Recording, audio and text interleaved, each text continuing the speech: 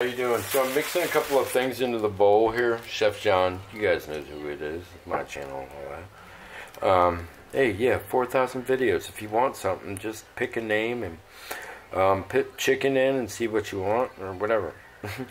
or shrimp or, you know. Alright, so garlic. Got teriyaki in there already. A little bit of Cajun uh, seasoning from Winco. We're going to take a bunch of sesame seeds. And we're going to add that too. I'm thinking about adding a little sugar. But I'm not going to go there right now.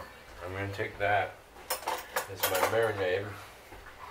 We're just going to work this together. Get stuff on everything. Got a little curry in there too. Okay.